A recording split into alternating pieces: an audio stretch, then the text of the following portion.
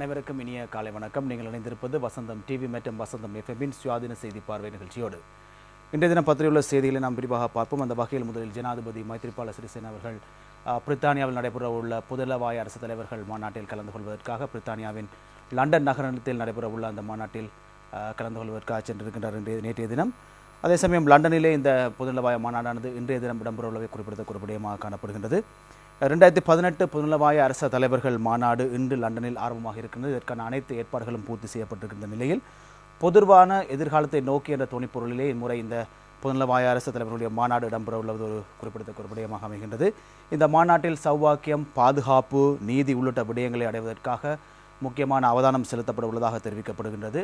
இறுதியாக இந்த மாநாடு கடந்த முறை மோல்டாவில் பொதுநலவாய மாநாடானது இடம்பெற்றிருந்தது. அந்த அமைப்பினுடைய தலைமைத்துவத்தையும் இந்த மோல்டா நாடே ஏற்றிருந்தது. அதே சமயம் இந்த அமைப்பு தன்னுடைய தலைமைத்துவத்தை வைத்திருந்த போதும் இம்முறை இதனை ஐக்கிய ராஜ்யத்திடம் கையளிக்க உள்ளதாக அந்த செய்திகள் குறிப்பிடுகின்றன. ஜனாதிபதி தனது லண்டனிற்கான உத்தியோகபூர்வ விஜயத்தின் போது பிரிட்டிஷ் பிரதமர் திரேஷா மேவியும் சந்திக்க இருக்கின்றார். அத்துடன் இந்த மாநாட்டில் அவர் பங்கு பெற்றும் அரசு தலைவர்கள் சிலருடனும் ஜனாதிபதி பேச்சுவார்த்தை நடத்த உள்ளார் என்று கூறியும் குறிப்பிடப்படுகின்றது. அதே சமயம் காலை கதிர் பத்திரிகையை நாம் எடுத்து பார்க்கும் பொழுது காலை கதிர் பத்திரிகை இதனை தெரிவிக்கின்றது. இவ்வாறு மைத்ரியும் மோடியும் லண்டனில் சந்திப்பர் என்று கூறிய இந்த செய்தி காணப்படுகின்றது.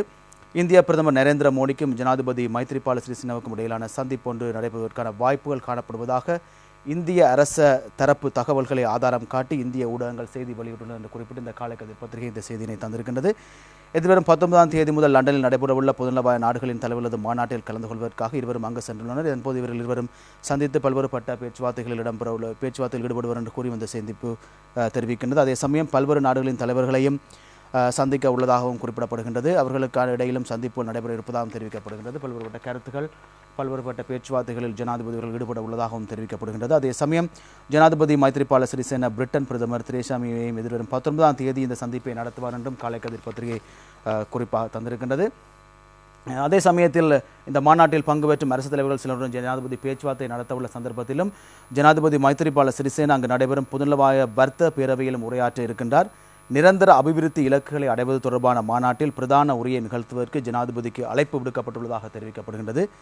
பொதுநலவாய விளையாட்டு சம்மேளனம் மற்றும் பிரிட்டிஷ் மகாராணியின் தொண்ணூற்றி ரெண்டாவது பிறந்த தினத்தையொட்டி நடைபெறும் விசேட நிகழ்வுகளிலும் ஜனாதிபதி பங்கேற்பார் எனவும் எதிர்பார்க்கப்படுகின்றது. இந்த மாநாட்டில் கலந்து கொள்ளும் ஜனாதிபதி மைத்திரிபால சிறிசேன லண்டன் நகரில் உள்ள பௌத்த விகாரைக்கும் சென்று வழிபாடுகளில் ஈடுபட உள்ளதாகவும் ஜனாதிபதி தொடர்பான இந்த செய்திகள் குறிப்பிடுகின்றன. ஜனாதிபதியினுடைய பொதுநலவாய அரசு தலைவர் மாநாட்டில் பங்குபெற்றும் இந்த உத்தியோகபூர்வ விஜயம் தொடர்பான செய்திகளாக இவை காணப்படுகின்றன. இவை ஏற்றினை நாம் இன்றைய பத்திரிகையில் நாம் காணக்கூடியதாக இருக்கின்றது.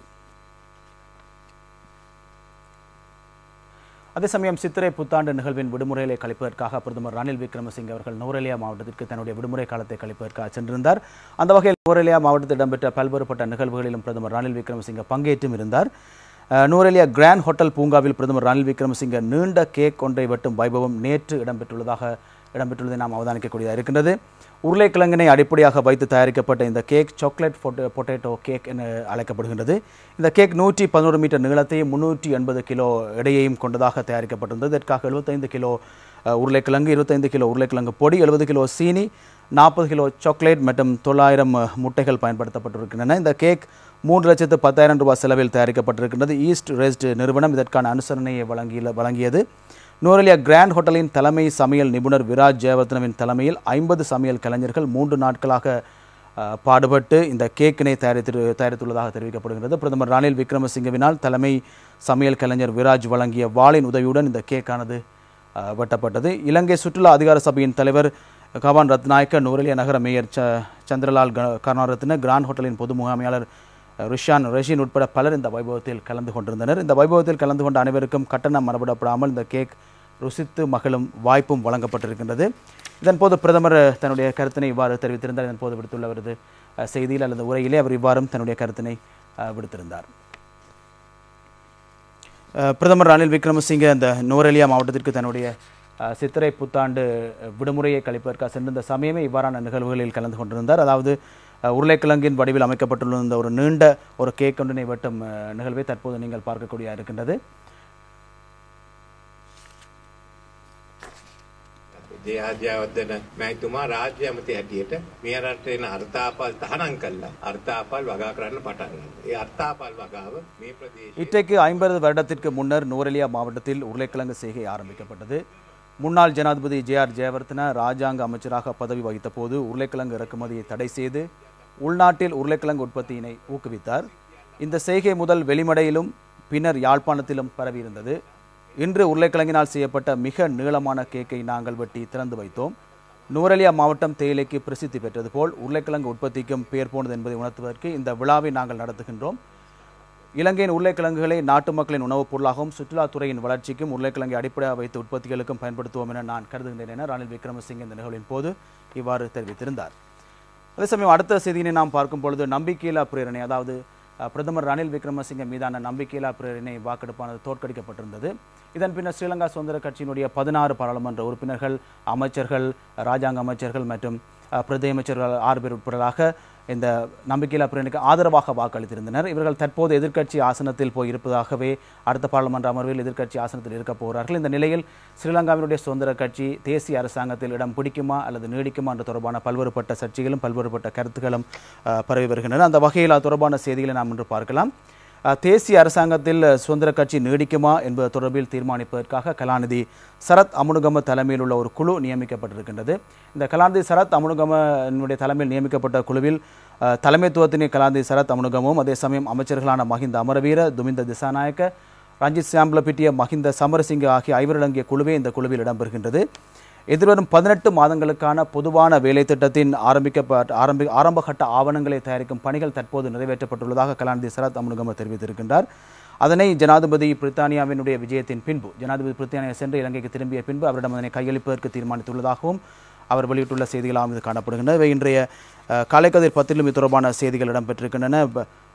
அதே சமயம் இது தொடர்பான திரு செய்திகளை தொடர்ந்து நாம் பார்க்கும் பொழுது மஹிந்த அமரவீரம் இது தொடர்பான தகவல்களை வெளியிட்டிருக்கின்றார் ஐக்கிய மக்கள் சுதந்திர கூட்டமைப்பினுடைய பொதுச் செயலாளர் மஹிந்த அமரவீர அஹ், பெலியத்தில் நடைபெற்ற நிகழ்வொன்றில் உரையாற்றும் பொழுதே இந்த இது தொடர்பான செய்தினை இவ்வாறு குறிப்பிட்டிருந்தார் அது தொடர்பான தகவலை நாம் இப்போ பார்ப்போம் බෑ රජය ඉස්සරහට යන ජනාධිපතිතුමා අපිට පැහැදිලිව කිව්වා මම ආණ්ඩුව කරන්න ඕන කිව්වා. මට අවුරුදු 5කට බලය ලැබිලා තියෙනවා. මම ආණ්ඩුව ගෙනියනවා. අපිට ජනාධිපතිතුමා කිව්වේ ආණ්ඩුවේ ඉන්න කියලා. ජනාධිපතිතුමා කිව්වේ අපිට කිව්වේ ආණ්ඩුවෙන් ඉවත් වෙන්න එපා.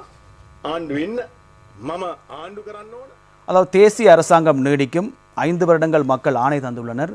நாட்டினை முன்னேற்ற வேண்டும். அதற்கான நடைமுறைகளை நாம் செய்ய வேண்டும். ஆகவே இந்த அரசாங்கம் நீடிக்கும் நீடிக்க வேண்டும் என ஜனாதிபதி தெரிவித்துள்ளதாக அமைச்சர் மஹிந்த அமரவீர குறிப்பிட்டிருக்கின்றார். ஜனாதிபதியின் கருத்துக்கு மதிப்பளித்து நாம் தொடர்ந்தும் பதவியில் இருக்கின்றோம். அண்மையில் கொண்டுவரப்பட்ட நம்பிக்கையில்லா பிரேரணை தோற்கடிக்கப்பட்டது.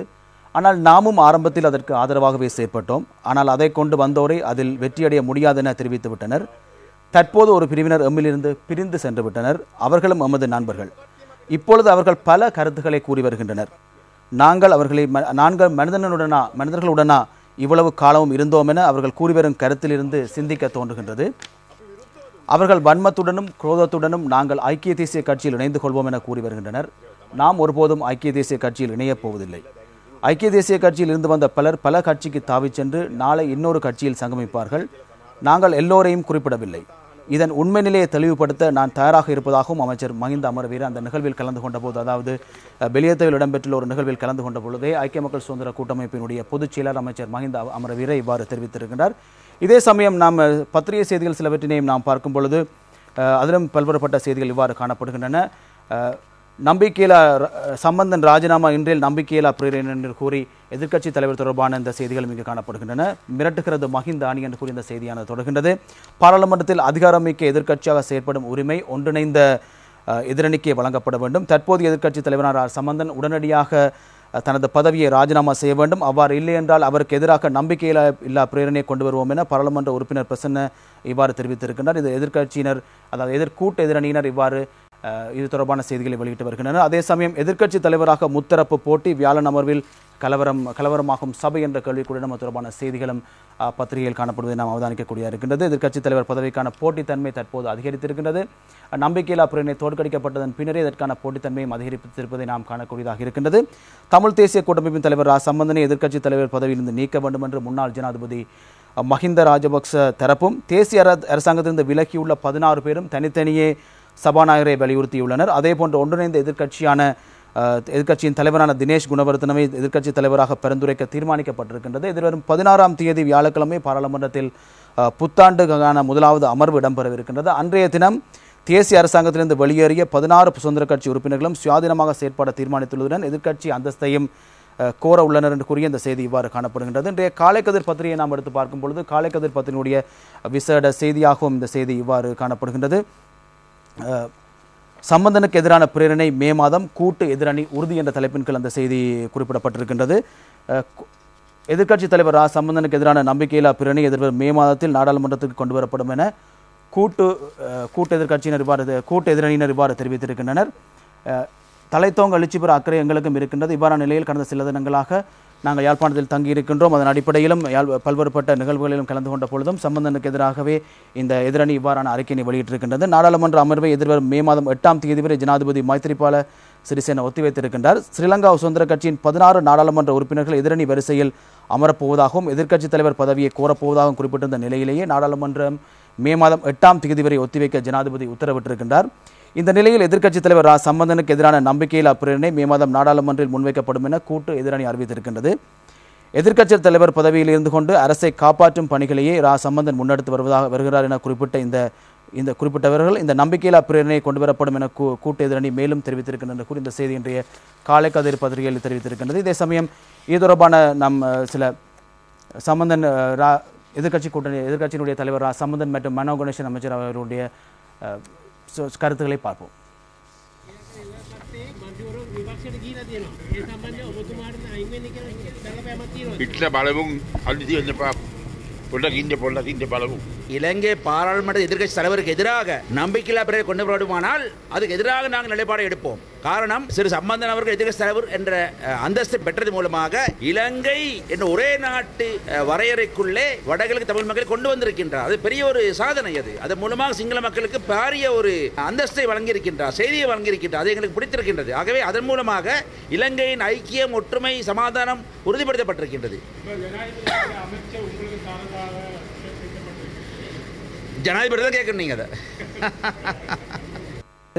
தமிழ் முற்போக்கு கூட்டணியின் தலைவர் அமைச்சர் மனோ கணேசன் யாழ் ஊடக மையத்தில் சமகால அரசியல் தொடர்பாக கருத்துக்களை நேற்று தெரிவித்திருந்தார். அந்த வகையில் தமிழ் தேசிய கூட்டமைப்பின் தலைவர் ரா. சம்பந்தனும் வடமாகாண முதலமைச்சர் சி. வி. விக்னேஸ்வரனும் மனம் விட்டு பேச வேண்டும் என அமைச்சர் மனோ கணேசன் கூறியிருக்கின்றார்.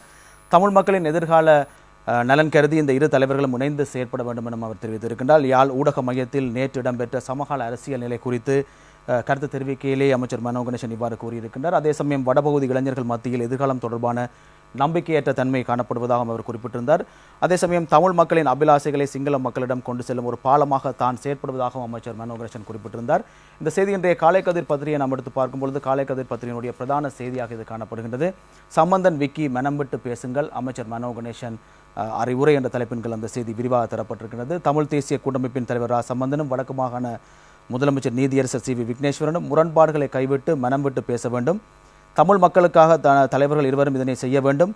இவ்வாறு தேசிய கலந்துரையாடல்கள் மற்றும் அரச மொழிகள் அமைச்சர் மனோ கணேசன் யாழ்ப்பாணத்தில் நேற்று வலியுறுத்தினார் குறித்த செய்தி காணப்படுகின்றது. யாழ் ஊடக மையத்தில் நேற்று காலை இடம்பெற்றுள்ள செய்தியாளர் சந்திப்பிலே அமைச்சர் மனோ கணேசன் இதனை தெரிவித்திருந்தார். அது தொடர்பான அவர் தெரிவித்துள்ள கருத்துக்களை தற்போது பார்ப்போம். எதிர்பார்த்த அரசியல் செயல்பாடு அபிவிருத்தி செயல்பாடு வடக்கு நடைபெறவில்லை என்பது கொண்- கண்கூடாக தெரிகின்றது. ஒருபுறத்திலே சம்பந்தன் அவர்களும் மறுபுறத்திலே விக்னேஸ்வரன் அவர்களும் புறன்பட்டுக் கொண்டிருக்கின்றார்கள். இவர் பக்கம் நியாயம் இருக்கின்றது இவர் பக்கம் அநியாயம் இருக்கின்றது சொல்ல வரவில்லை. சந்தர்ப்பத்திலே திரு சம்பந்தன் அவர்களும் திரு விக்னேஸ்வரன் அவர்களும் மனம் திறந்து கலந்துரையாடி தங்கள் மத்தியில் இருக்கக்கூடிய முரண்பாடுகளை களைந்து ஈழத் தமிழர்களின் எதிர்காலத்தை மனதில் கொண்டு தங்களுக்குரிய வேலைகளை பணிகளை வகுத்துக் கொள்ள வேண்டும். ஆயுத போராட்ட காலகட்டத்திலே தமிழ் மக்களுக்கு ஈழத்தை தவிர எதையும் தர தயார் என்று சொல்லிய சிங்கள தலைவர்கள் இன்று அந்த பலம் பேரவை சக்தி இல்லாத காரணத்தினாலே எதையும் தேர தயார் இல்லை என்று சொல்கின்ற சொல்லிக் கொண்டிருக்கின்றார்கள் உண்மை. எதார்த்தம் அதை புரிந்து கொள்ள வேண்டும் என்று நினைக்கின்றேன். அடுத்த ரெண்டு வருடங்களிலே அரசாங்கத்தின் போக்கு எப்படியா இருக்க வேண்டும் என தீர்மானிக்கப்பட வேண்டும். இரண்டாயிரத்தி பதினைந்தாம் வருடம் ஆட்சி பீடம் இருப்பொழுது பொழுது எங்களது அரசாங்கம் தந்த பல வாக்குறுதிகளில் கணிசமானவற்றை நாங்கள் நிறைவேற்றியும் இருக்கின்றோம். இல்லாமல் இல்லை. ஆனால் இன்னும் நிறைவேற்ற வேண்டிய பெரிய கடப்பா நிறைய இருக்கின்றது. நிறைவேற்ற வேண்டும் நினைக்கின்றேன். இப்பொழுது பாராளுமன்றம் ஒத்தி வைக்கப்பட்டிருக்கின்றது. அது புதிய பாராளுமன்றம் உருவாக்க ஆரம்பிக்கும் பொழுது அந்த புதிய எங்களது அரசாங்கத்தின் புதிய வழிமுறைகளை ஜனாதிபதி அவர்கள் அறிவிப்பார் என்ற எண்ணப்பாடு இருக்கின்றது. பார்ப்போம்.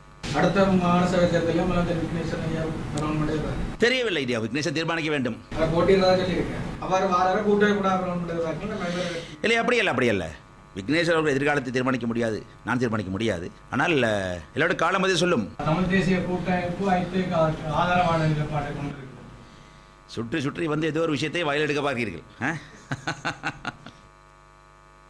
தொடர்ந்தும் அமைச்சர் மனோகணேசன் கருத்து தெரிவிக்கையில் ஈழத்தமிழ் மக்களின் கலாச்சார தொட்டிலாகவும் தாயகத்தின் தலையாகவும் யாழ்ப்பாணம் விளங்குகின்றது.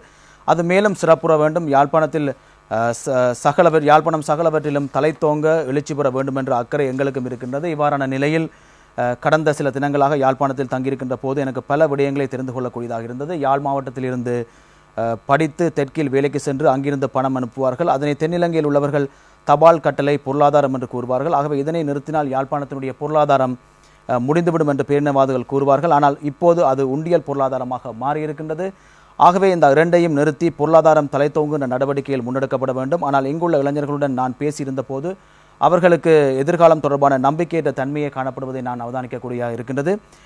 இந்த விரக்தியால் விரும்பாத வகையில் இளம் சமுதாயம் பயணித்துக் கொண்டிருக்கின்றது. இந்த நிலைமை எமது சமூகத்துக்கு ஆபத்தானது. ஆகவே இளைஞர்கள் மத்தியில் எதிர்காலம் தொடர்பான நம்பிக்கையை ஏற்படுத்த வேண்டுமாயின் பொருளாதார ரீதியான முன்னேற்றங்கள் அவசியம். அவ்வாறு பொருளாதாரம் தலைத்தோங்க வேண்டுமாயின் மீன்பிடி சுற்றுலா விவசாயம் தொழில்நுட்ப தொழில்நுட்பத்துறை இருக்கும் பொதுவான அடிப்படைகளை கொண்டு முன்னோக்கி செல்ல வேண்டும் எனவும் அமைச்சர் கனோ மனோ கணேசன் மேலும் குறிப்பிட்டுள்ளபடி குறிப்பிட்டுள்ள விடயங்களும் இங்கே காணக்கூடியதாக இருக்கின்றது. அதே சமயம் வடமாகாண முதலமைச்சர் இந்தியாவினுடைய தமிழகத்தில் சித்திரை புத்தாண்டு நிகழ்வுகளில் கலந்து கொண்ட போது ஆற்றியுள்ள உரை தொடர்பான செய்திகளும் இன்றைய காலைக்கதிர் பத்திரிகையில் காணப்படுகின்றன. போரால் தமிழர் இழந்த சொத்துடைமைகளை மீளளிக்க தவறிய அரசு தமிழகத்தில் கூறினார் விக்னேஸ்வரன் என்று கூறி இந்த செய்தி இன்றைய காலைக்கதிர் பத்திரிகையில் காணப்படுகின்றது. போர்க்காலத்தில் படையினராலும் சிங்கள மக்களாலும் சட்டவிரோதமாக உடைமையாக்கப்பட்டவையான தமிழ் மக்களின் காணிகள் வீடுகள் மற்றும் ஏனைய சொத்துக்களை மீள பெற்றுக் கொடுக்க இலங்கை அரசு தவறிவிட்டது. இவ்வாறு வடக்கு மாகாண முதலமைச்சர் நீதியரசர் சி வி விக்னேஸ்வரன் குற்றம் சுமத்தியுள்ளார் என்று கூறி காணப்படுகின்றது. அதாவது தனிநாடு என்ற கருத்தில் தமக்கு உடன்பாடு இல்லை எனவும் பேச்சுவார்த்தை மூலமே மக்களின் பிரச்சனைக்கு தீர்வு காண வேண்டும் எனவும் வடமாகாண முதலமைச்சர் சி விக்னேஸ்வரன் இந்தியாவினுடைய தமிழகத்தினுடைய தமிழகத்தில் கலந்து கொண்டுள்ள நிகழ்விலும் இவ்வாறு கூறியிருக்கின்றார். இந்தியாவுடைய திருநெல்வேலியில் நடைபெற்ற சித்திரை புத்தாண்டு நிகழ்வில் கலந்து கொண்டு உரையாற்றும் பொழுதே முதலமைச்சர் சி விக்னேஸ்வரன் இவ்வாறு தெரிவித்திருக்கின்றார். இதனை த ஹிந்து செய்தி நிறுவனம் இந்த செய்தியினை வெளியிட்டிருக்கின்றது. ஒருங்கிணைந்த இலங்கை என்பதனை முன்வைத்தே மக்கள் தங்களுக்கு ஆதரவு வழங்கியுள்ளதாகவும் இலங்கையின் மத்திய அரசுக்கும் தமக்கும் இடையில் இருக்கும் பிரச்சனைகளை பேச்சுவார்த்தை மூலமே தீர்ப்போம் எனவும் வடமாகாண முதலமைச்சர் சி வி விக்னேஸ்வரன் மேலும் குறிப்பிட்டிருக்கின்றார்.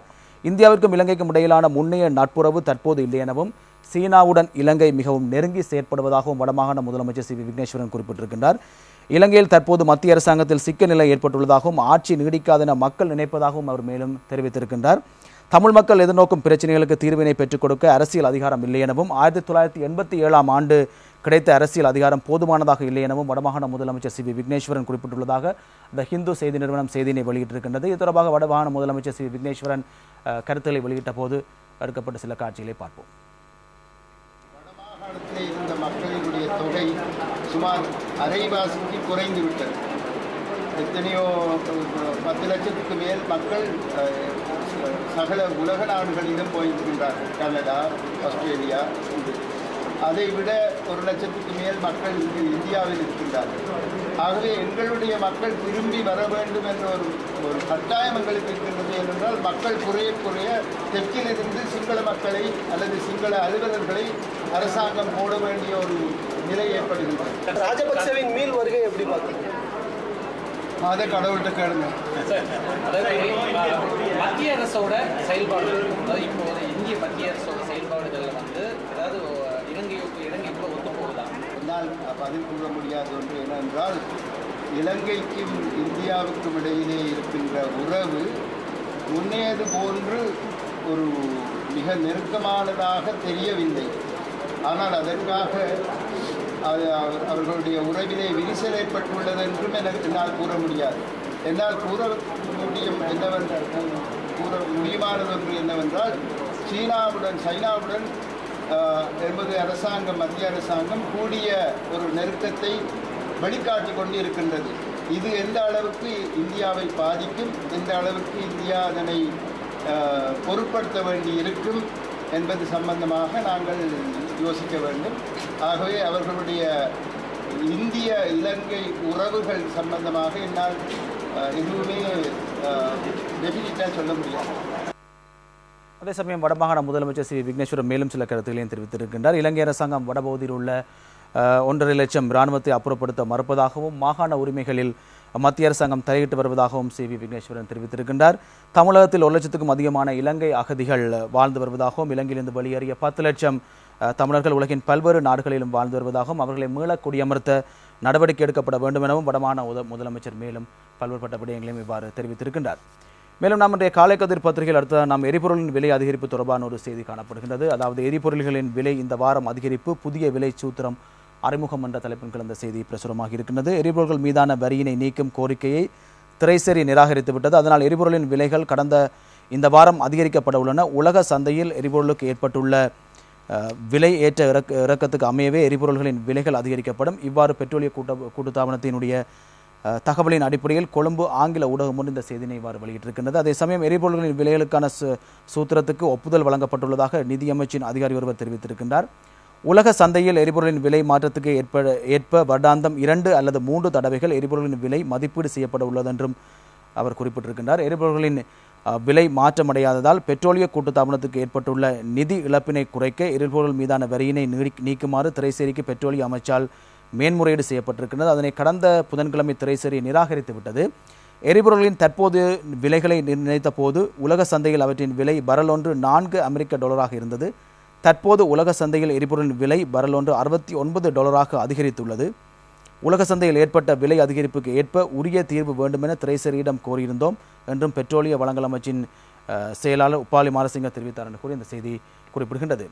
அதே சமயம் நாம் காணாமோட் போனோர் குறித்து அரசுக்கு அக்கறை கிடையாது கூறுகிறார் சித்தார்த்த எம்பி என்ற ஒரு செய்தியும் காணப்படுகின்றது. அஹ், ஐநா தீர்மானத்தில் குறிப்பிட்டுள்ள காணாமோட் போனோர் தொடர்பான பிரச்சினை மற்றும் காணாமல் போன அலுவலகம் தொடர்பில் எந்தவிதமான முன்னேற்றங்களும் இன்றி அரசு செயற்படுவது கண்டிக்கத்தக்க விடய விடயம் எனவும் காணாமல் போனோரின் பெருவாரியான உறுப்பினர்கள் இணைந்து கொண்டு இந்த நடவடிக்கை முன்னெடுக்கப்படும் என எச்சரித்துள்ளார் என்று கூறி இந்த செய்தி காணப்படுகின்றது. யாழ் ஊடக மையத்தில் நேற்று ஞாயிற்றுக்கிழமை நடைபெற்ற செய்தியாளர் மாநாட்டிலே அவர் இவ்வாறு தெரிவித்திருக்கின்றார் என்று கூறி இந்த செய்தியானது காணப்படுகிறது. அதே சமயம் தமிழ் அரசியல் கைதிகள் மற்றும் காணாமல் போனோர் தொடர்பில் அரசு எந்தவிதமான நடவடிக்கையும் எடுக்காமல் இருக்கின்ற நிலையில் அரசுக்கு தமிழ் தேசிய கூட்டமைப்பு ஆதரவு வழங்குகின்றமை கண்டிக்கத்தக்கது. குறிப்பாக பிரதமர் ரணிலுக்கு எதிராக அண்மையில் கொண்டுவரப்பட்ட நம்பிக்கையில்லா பிரேரணைக்கு கூட்டமைப்பினர் எதிராக வாக்களித்தனர். ரணிலை காப்பாற்றும் முயற்சியில் இந்தியா உள்ளிட்ட நாடுகள் தீவிரம் காட்டின இந்த நிலையில் தமிழ் மக்களின் பிரச்சனைகள் தொடர்பாக அந்த நாடுகளிடம் எழுத்து மூலமான உத்தரவாதம் ஒன்றை பெற்றிருக்க வேண்டும். அதனை விடுத்து பிரதமர் ரணிலின் உத்தரவாதம் பெற்று பெ- பெறுவதில் எவ்விதமான நன்மையும் கிடைக்கப்பெற போவதில்லை என்றும் பாராளுமன்ற உறுப்பினர் சித்தார்த்தன் அவர்கள் விடுத்துள்ள செய்தியாக இது அமைகின்றது. அதே சமயம் இன்னொரு தகவலை பார்க்கலாம். காணாமல் போனோரை விடுவிக்க சிறைகளை முற்றுகையிடுவோம். தமிழ் தேசிய மக்கள் முன்னணி எச்சரிக்கை என்று கூறி ஒரு செய்தி காணப்படுகின்றது. அதாவது காணாமல் ஆக்கப்பட்டவர்கள் சிறைச்சாலைகளில் சி- சித்த சுவாதீனம் மற்றவர்களாக காணப்படுகின்றனர் என தெரிவித்து தெரிவிக்கப்படுகின்ற நிலையில் அவர்களை விடுவிக்காவிட்டால் சிறைச்சாலைக்குள் பலவந்தமாக நுழையும் நிலை ஏற்படும் என தமிழ் தேசிய மக்கள் முன்னணியின் செயலாளர் செல்வராசா கஜேந்திரன் தெரிவித்துள்ள தகவலாக இது காணப்படுகிறது. என்னமோ தகவலை நாம் பார்க்கலாம். காலைக்கதிர் பத்திரிகையிலிருந்து தவராசாவின் பதவி பறிக்கப்படுமா என்ற தலைப்பின் கீழ் அந்த செய்தி காணப்படுகின்றது. வடமாகாண வடக்கு மாகாண சபையின் எதிர்க்கட்சி தலைவராக இருந்த சி. தவராசா இருந்து வரும் நிலையில் அந்த பதவியை தமக்கு வழங்குமாறு மாகாண சபையில் அங்கம் வகிக்கும் ஐக்கிய மக்கள் சுதந்திர முன்னணி கோரியுள்ளதாக தகவல்கள் வெளியாகி இருக்கின்றன இந்த நிலையிலே தவராசாவின் பதவியானது பறிக்கப்படுமா என்ற கேள்விக்குரிய அந்த செய்தியினை காலை கதிர் பத்திரிகை வெளியிட்டிருக்கின்றது. அதாவது அத அதனால் அந்த பதவியை அஹ், கொடுப்பதா அல்லது தொடர்ந்தும் தவராசாவை இருக்க அனுமதிப்பதா என்பது தொடர்பில் இழுபறி நிலை காணப்படுவதாகவே தெரிய வருகிறது மாகாண சபை தேர்தலின் பின்னர் சபையின் எதிர்க்கட்சி தலைவராக இபிடிபி கட்சியைச் சேர்ந்த கமலேந்திரன் பதவி வகித்தார். அதே கட்சியைச் சேர்ந்த பிரதேச சபை தவிசாளராக இருந்த ரெக்ஷியன் என்பவரை துப்பாக்கியால் சுட்டு கொலை செய்த குற்றச்சாட்டில் கமல் கைது செய்யப்பட்டிருந்தார். அவர் விளக்கமுறையில் வைக்கப்பட்டார். அதனால் கட்சியிலிருந்து நீக்கப்படாமல் மாகாண சபை உறுப்பினர் பதவியையும் இழந்திருக்கின்றார். இந்த நிலையில் பட்டியலில் அடுத்து இருந்த தவராசா உறுப்பினராக தெரிவு செய்யப்பட்டு எதிர்க்கட்சி தலைவரை தலைவர் பதவியினை பெற்றுக்கொண்டு செயற்பட்டு வருகின்றார். அதன் பின்னரும் அவரது கட்சிக்குள் ஏற்பட்டுள்ள முரண்பாடுகள் காரணமாக சி. தவராசாவையும் அந்த பகுதி பதவியிலிருந்து நீக்க வேண்டும் என்று இபிடிபியினர் பல முயற்சிகளை மேற்கொண்டிருந்தனர். எனினும் சபையில் அதற்கு அனுமதி மறுக்கப்பட்டிருந்தது. தற்போதும் தவராசா எதிர்க்கட்சி தலைவராகவே பதவி வகித்து செயற்பட்டு வருகின்றார். வடக்கு மாகாண சபையின் ஆயுள் காலம் சில மாதங்களில் நிறைவு பெற இருக்கின்றது. இந்த நிலையில் சபையின் எதிர்க்கட்சி தலைவர் பதவியிலிருந்து தவராசாவை நீக்கிவிட்டு ஐக்கிய மக்கள் சுதந்திர முன்னணி சார்பாக போட்டியிட்டு வவுனியா மாவட்ட மாகாண சபை உறுப்பினராக உள்ள பெரும்பான்மை இனத்தைச் சேர்ந்த ஜெயதலகவை அந்த பதவிக்கு நியமிக்க வேண்டும் என ஐக்கிய மக்கள் சுதந்திர முன்னணியின் மாகாண உறுப்பினர்கள் மாகாண சபையின் அவை தலைவரிடம் கோரிக்கை விடுத்துள்ளனர். எனவே தகவல் வெளியாகியுள்ளதாகவே இந்த செய்தி விரிவாக தரப்பட்டிருக்கின்றது. மீண்டும் நாளை காலை ஆறு முப்பதற்கு சுயாதீன செய்தி பார்வை ஊடாக உங்களை சந்திப்போம். வணக்கம்.